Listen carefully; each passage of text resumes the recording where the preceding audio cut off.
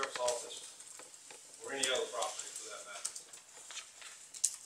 This plan should include a current inventory of all the facilities owned and maintained by the county and an evaluation of their condition.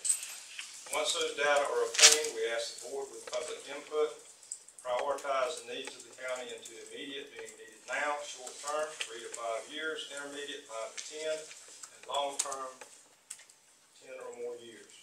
This list of priorities should be reviewed